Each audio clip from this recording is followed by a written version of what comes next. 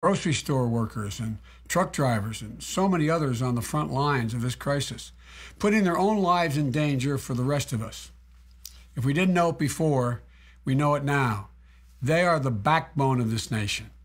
Our immediate priority is to get through this public health crisis and get help into the pockets of American workers. American workers. More than 20,000 Americans have died already. Our federal government needs to learn from this catastrophic mistakes it's made over the past few months and take action to turn the tide on this virus. And in doing so, it needs to focus on the racial disparities in cases and deaths that we've been talking about. To protect African Americans and Latino families who've borne so much of the brunt of this ep- epidemic. So let's be clear the coronavirus isn't Donald Trump's fault, but the fact that Americans has America has more cases than any country in the world is his responsibility. New reporting over the weekend showed that he turned a blind eye to China's mistakes at a critical moment. He tried to downplay the danger to keep the stock market high. He rejected the advice he was getting from his own experts to prepare, to prepare for what was coming. They told him. Now we're all playing, paying a very high price for his bad judgment, bad decisions, bad instincts of this administration. You know, we all know more than 16 million Americans have lost their jobs already. Our federal government has to act more decisively to get assistance the Congress has already approved of more than $2.2 trillion into the hands of those who need it the most workers, families, small businesses. Now, this leads me to a critical point. When this crisis has receded, we can't just talk about, think about building back to the way things were before. We need to build better for the future. Many of the biggest cracks in our social safety net have been laid bare by this crisis. From health care to paid sick leave to the shortcomings of our unemployment system. And we need to build, build a 21st century safety net that takes care of all of our citizens in times of crisis. And I mean all of our citizens. Yes, in all times, not just in crisis. You know, we're going to need to address rebuilding our nation's infrastructure. We're going to need to shore up our democracy. We need, we all have to know the clock is ticking. We don't have a moment to waste in combating the climate crisis. It's existential threat to us. In short, we need to build a fair, more inclusive, more resilient America. And with that in mind, I'd like to welcome to this conversation a leader who shares those values and has been an outspoken advocate for that vision for a long time. My friend, Senator Bernie Sanders. Bernie, welcome. Joe, thank you very much for your remarks and thank you for welcoming me uh, to your live stream here. Um, as you've indicated, we are living in an unbelievably unprecedented moment. You and I were chatting a few months ago, not in a million years would we have believed that we would be talking to each other in our respective homes, that we could not, you know, do rallies, that we could not uh, get out of the house. Uh, we would not have believed uh, that we'd be looking not only at a pandemic, which, as you indicated, has taken over 20,000 lives in our country, half a million people infected, uh, but has cost us 16 million jobs. And that's probably a conservative number. The real number is probably higher than that. So we are in a terrible moment, an unprecedented moment. And I know we share the, the understanding that we've got to go forward right now and out of this in an unprecedented way uh, to address the terrible pain that so many of our fellow Americans are feeling.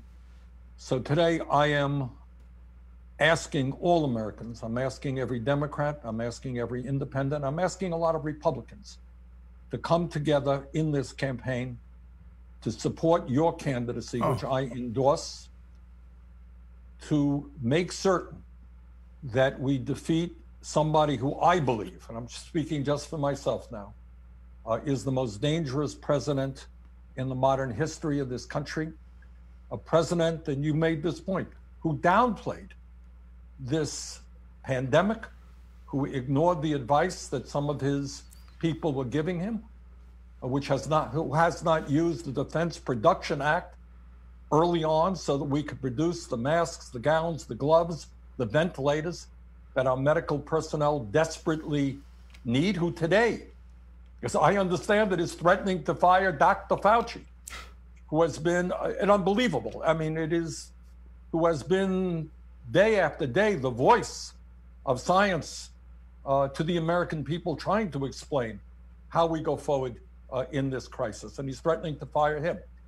So, to me, for all of those reasons and, and so many more, a president who doesn't apparently has never read the Constitution of the United States, who believes he's above the law, a president who lies all of the time, a president who has at least shown me that he is a racist and a sexist and a homophobe and a xenophobe and a religious bigot.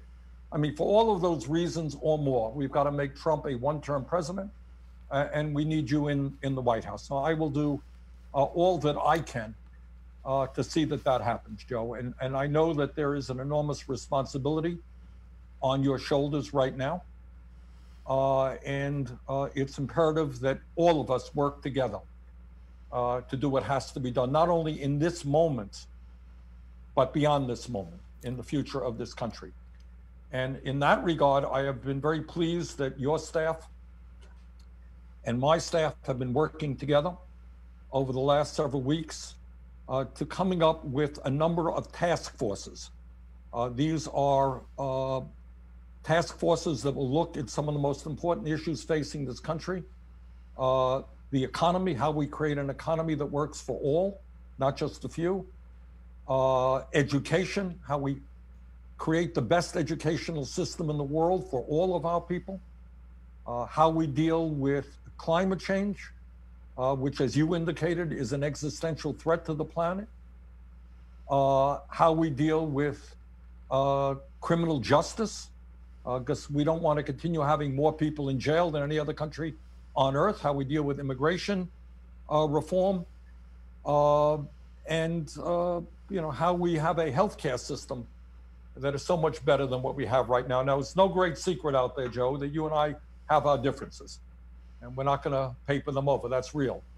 Uh, but I hope that these task forces uh, will come together uh, utilizing the best minds and, and, people in your campaign and in my campaign uh, to work out real solutions to these very, very uh, important uh, problems. So uh, look forward to working with you and uh, bringing some great people into those task forces.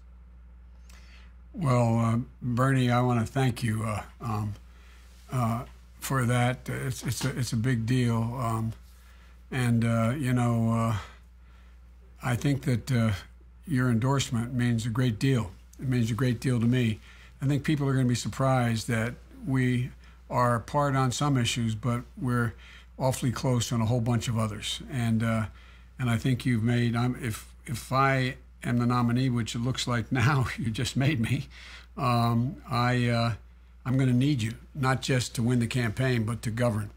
And so, uh, uh, do, you, do, you have any questions for me, Bernie, at all? I did, Joe. Um, you know, just um, uh, let's talk about some of the areas that I think we are actually fairly close. There are some areas where we disagree, but somewhere we are fairly close. Let's talk about the economy. Uh, and above and beyond the crisis that we're in right now, uh, you know uh, very well that millions of our people are working for starvation wages. And one of the fights that I've been waging for a number of years now is to raise that minimum wage uh, to at least 15 bucks an hour. Is that something, Joe, uh, that you are supportive of? Bernie, I am extremely supportive of that. And I thank you for leading on it. I thank you for your endorsement, your support. But it means, look, it means a great deal to me personally. As I said in my statement when you suspended your campaign, I want to thank you for being the powerful voice. And you've been the most powerful voice for a fair and more just America. It's a voice like yours that refuses to allow us just to accept what is. You've refused to accept that we can't change what's wrong in our nation. You refuse to accept that health and well being of our fellow citizens and our planet isn't the responsibility of somebody else. It's our responsibility act now. And you don't get enough credit, Bernie, for being the voice that forces us to take a hard look in the mirror and ask ourselves, have we done enough? And we haven't. One issue you've led in the past is making sure that every single solitary thing we can do to keep workers whole during this crisis is a part of it. It goes well beyond the $15 an hour. As I said, more than 16 million. And you're right, it's probably significantly more than 16 million Americans have lost their jobs because that's a lagging indicator. And Congress has appropriated more than $2.2 trillion in this last round of so called CARES Act my concern is the Trump administration is going to continue to do what it's always done. And that is, it's going to make sure the response in a way that the structural benefits go to the wealthy and the well connected. And that's been your cry for a long time, Bernie. Basically, they're helping their friends. It isn't about the legislation. The legislation has been good, it's about how it's being implemented. The biggest, best connected firms are getting assistance as fast as they can ask for it oversight and few conditions from Treasury and the Fed have been sort of wiped away. We should be imposing much stricter conditions on these big firms, telling them they only get the relief if they keep workers on their payroll, keep their jobs, make a commitment they won't buy back their stock, pay out dividends, enrich their executives. In fact, Donald Trump and his team are trying to gut the whole oversight of the corporate loan program. Now, Trump fired the inspector general I know you know this, who was put in place to police corporate corruption. And what's he trying to hide? Congress should demand answers, and I know you will. Meanwhile, the little guy, the mom and pop shops, the men and women in minority owned businesses, they have the fewest resources to fall back on in this crisis. And they're facing obstacles and delays that threaten their very existence of their businesses. And but no one in Donald Trump's White House or Treasury is taking the kind of bold action required to make sure that those without prior wealth, without prior wealth or prior connections get a priority. We should insist that the Trump White House and the Treasury Department move more aggressively to get those grants and loans to small businesses now when they really need it. And if the banks won't do it, to go back to your point, the processing they won't process the loans for small business regardless of their size, then the federal government should use their wartime authority to compel them to do so. Because otherwise, in six months, we're going to look back and see that this crisis has only made inequity worse in America. And I've said it from the beginning of our conversation. We just can't think about building back to the way things were before. That is not good enough. We need to build for a better future. And that's exactly what these task forces, your team and mine, have put together to focus on. I'll have a lot more to say about that, as you will too. But first, I want to thank you for your question. And Bernie, if I don't mind, Bernie, how, how do we, over the long haul, if I may ask, make sure we strengthen the economy to work for all people?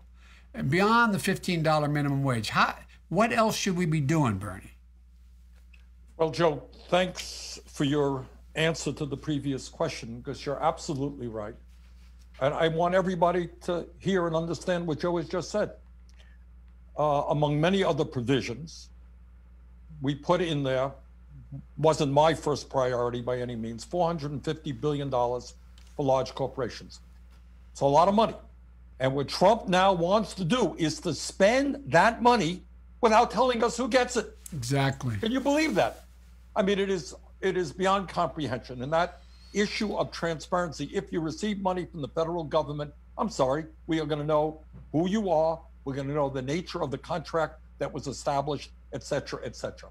But we need, as you indicated, absolute uh, transparency. Uh, the other thing, Joe, I think we have to deal with right now is with so many folks uh, unemployed and underemployed, uh, we've got to make sure that the government comes up with a continued set of policies that protect those workers.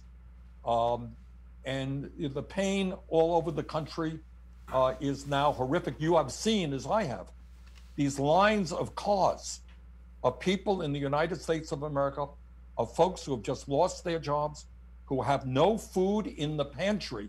They are now lining up to get food. So we've got to do everything that we can as rapidly as we can to make sure that nobody in America goes hungry, that nobody in America during this crisis, in my view, lacks uh, health care, that nobody in America in this crisis is evicted from their homes, loses, lose, evicted from their apartments, loses their homes. There's an enormous amount of work that has to be done to protect workers uh, in this country, in this crisis right now. But the question you ask, as I understand it, is where do we go from here? I mean, hopefully sooner than later, God willing, uh, this crisis ends. And how do we create a more just and fair society? I think that was your question, yeah? Yep. All right. So I, I, I think you and I understand the problems. We may disagree a little bit on the issues, but first of all, it seems to me to be obvious uh, that people should not be working Other in way. the richest country in the history of the world uh, at starvation wages. Well, I tell you, Go ahead, Joe. You know, Bernie, you and I have always shared a profound conviction as long as we've both been in politics. This country wasn't built by Wall Street. It wasn't built by CEOs and hedge fund managers. It was built by workers. The great American middle class was built by American labor unions. Unions. And yes, unions, that's the story of America. Ordinary people from the neighborhoods you and I grew up in doing extraordinary things given half a chance. Millions of people all across this nation who get up every day and go to work, raise their families, pay their taxes, volunteer in their communities, and make this country work. We're watching them. They're the people making it work now. Right. And people understand that being middle class isn't a number, it's a value set. It's about being able to own your own home and not have to rent it if that's what you choose. It's being able to live in a neighborhood where you can send your kids to a park and they're going to come home safely, or, or being able to send your kids to a good high school or good school, public school, when they'll do well enough that they can go on to trade school or college or community college, whatever they suits them well.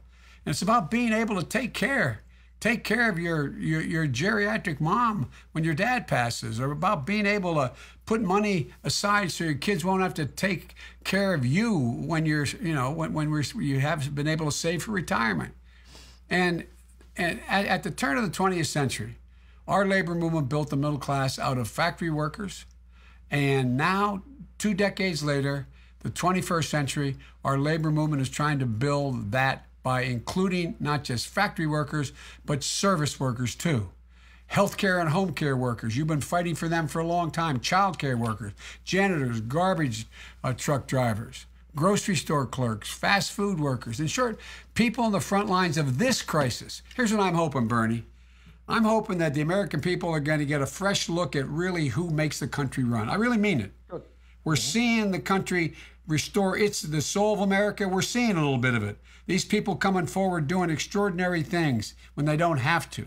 And I want Donald Trump to look at these people in the eye and tell them, after they put their lives in the line for the rest of us, that they don't deserve a living wage, that they don't deserve health care, that they don't deserve to be able to send their kids to college or community college or trade school, that they don't deserve to make equal pay for equal work. I, I, want them to look them in the eye and tell them that they don't deserve to be able to organize, to fight for what they deserve, to bargain with dignity, to demand their employers give them their due. I want them to look them in the eye and tell them that they're, that the scientists are wrong, that climate change is not an existential crisis demanding worldwide domestic and international responses. You know, I want them to tell the moms and dads across the country that their children and grandchildren don't have the right to clean air and water. Look, the United States has no choice but to seize this opportunity and create millions, millions of great paying jobs that your energy plan has suggested and mine as well. An energy infrastructure of tomorrow, not going back to anything that was before, tomorrow. And we take a backseat to no one when it comes to fighting climate change or when it comes to creating good paying jobs, middle class jobs, union jobs.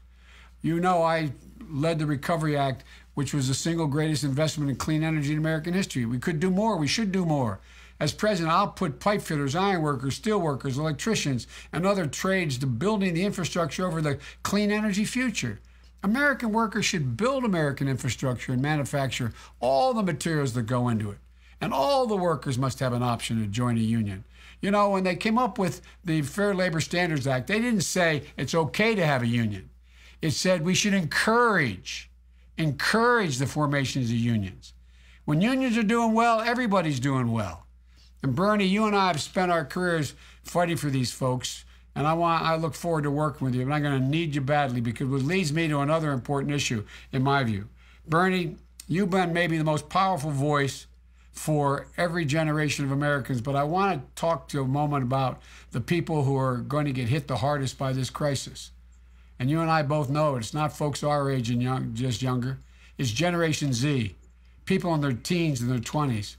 These are the people who are going to begin their careers, people working their way through college or trade school. They're going to have student loans. They're going to come into the economy and economy in turmoil. We're going to be worse than we are. Eh, the predictions are it's going to be like Roosevelt, what he faced, and worse. We saw it with the millennials after the 2008 crash. They're still struggling to catch up. So, what politics and what policies do we need to address for the concerns of these young people? Because I do think they've been put behind the eight ball more than our generation was or any generation in recent history. That's absolutely true, Joe, and I'm glad you're prepared to focus on that issue. It's the right thing to do, and that is a generation of young people who are experiencing crisis after crisis. So let me start off by saying uh, that, in my view, uh, if we believe in a strong democracy, which you do and I do, we have actually read the Constitution of the United States, unlike the current president.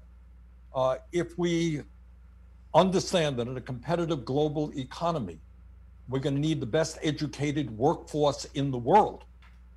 I think you understand and I understand that free public education has got to go beyond 12th grade right now that we need to make public colleges and universities tuition free, and that we have to move very aggressively to dealing with the reality that so many of our people, young and not so young, are struggling with this outrageous level of student debt.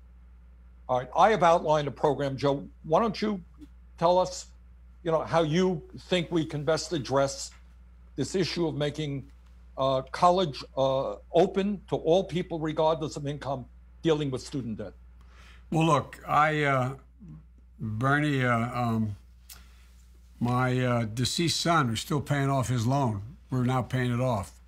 Now, he went to a private university, um, but still paying off his loan. Um, my daughter is still paying off her loans. Uh, and look, we need to think about what we can do to address these concerns. Look, you've been a leader on the student debt issue and affordability of higher education.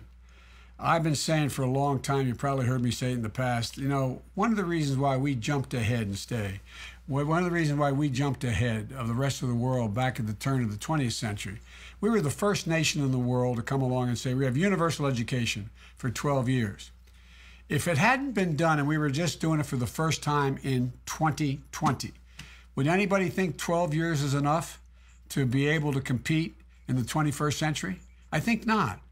But one of the things that I've changed my mind on, I propose to forgive debt for low income and middle class individuals, for community colleges and the like. But here's the deal if you're attending a public university, college university, as well as a private HBCU, a historic black college, or minority serving institutions, I've already called for immediate canceling of a minimum of $10,000 of their student loan debt now under this crisis and allow them to borrow so they can cope with this crisis. Look, I proposed and you know aggressively canceling student debt for those who uh, who were abused and misled by private for-profit colleges. So have you. You've been way ahead.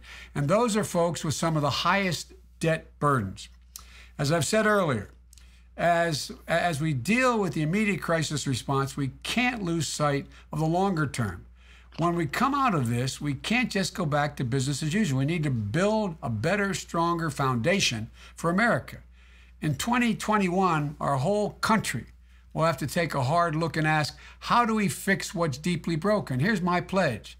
We'll, I will make an educator, an education that, in fact, Jill, my wife, is a uh, a, a, professor at a community college, says any country that outcompetes us, Joe, is going to uh, out-educate, is going to outcompete us. And so we'll make education our community college free for all. And here's the thing that has changed with this crisis. At our public colleges and universities, make them free for all lower income and middle class families and middle class families because look, they're going to face an enormous burden. Where are they going to get the money to go, even though our state universities are borrow that money? We have to lower the cost of private historic black colleges and universities and minority serving institutions as well, and ease the burden of student debt. And we'll address the existential climate change as well. Look, in terms of student debt, anybody who is making under less than $125,000 who in fact has a debt having gone to a community college in their family, uh, I mean, excuse me, gone to a, a, uh, a state university, they should be able to get debt forgiveness as well, instead of, in addition to just being able to go free to community college, because they've been so badly banged since 2008. We got to build a green, resilient, sustainable infrastructure that will power generations of inclusive growth while saving our planet. Look, and we're going to confront income inequity in this nation, build a social safety net that gives all Americans the dignity and security they deserve. And we're going to we're going to make sure health care, and this is your signature issue, is made affordable and accessible to every American. And build a public health system that can prevent future pandemics. I want to talk to you about this. I really think we should be thinking about having a new office, a new cabinet office on pandemics in the United States, but that's another issue. But we're going to finally achieve comprehensive immigration reform as well, put millions of citizens on a pathway to citizenship, including so many who are on the front lines right now. The, the, the, the, the number of, of undocumented who are out there now risking their lives, risking their lives. You know, one of the things I had the greatest pleasure in doing when I was vice president is going to one of Saddam Hussein's my multiple visits to Iraq and swearing in well over, uh, I think it was 180 uh, un- undocumented people who were joining the United States military. They had won Bronze Stars, Silver Stars. They had, they have, they, they had Purple Hearts. They, I mean, and you know, these are people who have demonstrated they're prepared. They're, in a sense, many more Americans than a lot of Americans. We're going to address the structural racism in our country as well. You know, it's going to take not just uh, criminal justice reform, but it's also going to require the inequities that have led to this god awful situation in which African Americans and Latinos suffer at the hands of the of the coronavirus to a much greater extent than others. And look, I know we share the same goals in many of these things. What we've had different ideas how to accomplish them. But on some issues, we're going to continue to disagree respectfully, but not on any substantive way. You know, I, I, I believe there's a great opportunity, a great opportunity to work together to deploy policy approaches that can take us closer to our shared goals. So I'm pleased to announce that Bernie and I have agreed to establish, as we said, we've already talked about it, six policy working groups one on the economy, one on education, one on criminal justice, it should be reform, not punishment, one on immigration, climate change, and the economy. These groups are made up of thoughtful leaders that have worked with Bernie and some of whom have supported me as well. And the task is for them to develop creative new ideas and proposals. And we're looking forward to turning that work into positive change for the country. So, Bernie, let I think it's time we let these folks get going. And I, I just want to say to you, I can't tell you how much I appreciate all that you have done, all that uh, during all this time, what people are surprised about. You and I have been friends. We've disagreed, but we've been friends. We go all the way back your first run, and uh, and I uh, I appreciate your friendship, and I promise you I will not let you down. But I understand you may have a closing statement to make, Bernie, or, or anything else, anything you want to do. It doesn't have to be closing, but anything at all. Well, I thought we'd play some chess. What do you think? Oh, I'd like to play chess. I've been right. playing on my cell phone. That's about it. I got a beautiful chessboard upstairs. I haven't got right, anybody I got, to play I got mine. I'll bring it out. I see we'll, the one we'll behind bore you. everybody. Yeah, you got one right here. I'll, we'll bore everybody for a few hours. Yeah. But look, Joe, in all seriousness, in, in this terrible moment in our history, and given the enormous challenges that we face in the future, it is I mean, we don't have a choice. We're going to have to come together, bring the best minds, bring all of our people uh, together uh, to work our way out of this crisis. We are, and I've said this a million times, so let me say it a million and one.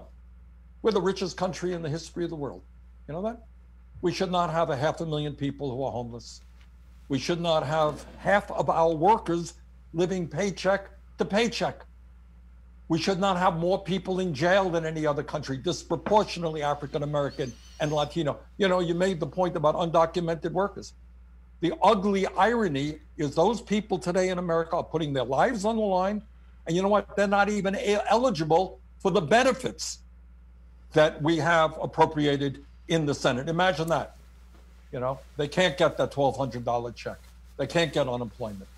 So we got a lot of work to do to make this country the kind of nation that I know you want to see, that I want to see, and the vast majority of the American people want to see. We got to deal with income and wealth inequality. We got to deal with a healthcare system that is broken in so many ways. You mentioned the issue of climate change. Man, we don't have a choice there. Future of the planet determines, demands that we are bold in transforming our energy system. And as you've indicated, we can create millions of jobs doing that. So there's a lot of work to do. Let's go forward together and uh, in doing that. And I know you are the kind of guy who is going to be inclusive. You want to bring people in, even people who disagree with you. You want to hear what they have to say. We can argue it out. It's called democracy. You believe in democracy, so do I. Let's respect each other. Let's address the challenges we face right now and in the future. And in that regard, Joe, I very much look forward uh, to working with you. Well, Bernie, thank you. And look, uh, one of the things that uh, I think, as a student of history, as you are, American history, you know, out of every crisis America has faced, from the Civil War straight through to today, um, we have come out of it stronger. We've come out of it and fixed things that were institutionally, structurally wrong beforehand. We haven't fixed them all. But look what happened with the Great Depression. We got everything from Social Security to right, a whole range of things. Well, this is a time.